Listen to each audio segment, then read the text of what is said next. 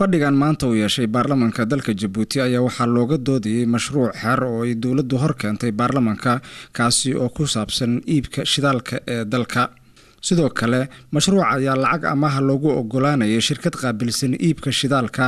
Waxaana fadhigaasi ka qayb galay xildhibaanada dalka jabuuti kuwaasi oo ka koobnaa xildhibaanada muxaafidka iyo kuwa mucaaradka labadaba sidoo kale waxaa kulankaasi ka qayb galay ra'iisul wasaaraha dalka jabuuti cabdulqaadir kaamil maxamed iyo qaar ka mida golihiisa wasiirada oo kulankaasi baarlamanka goobjoog ka ahaa.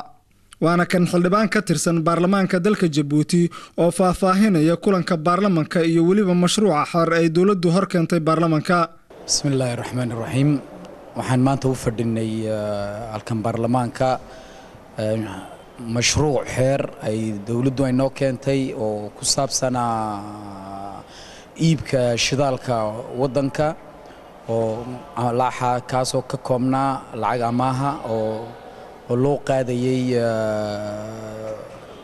oo loo qaadayey shirkadda société des hydrocarbures de Djibouti. Lacagta amaahda ah waxay waxay ahayd soddon malyuun oo dollarka maraykanka ah oo laga qaatay oo amaahda ay bixisay bangiga islaamiga ee dhinaca horumarka.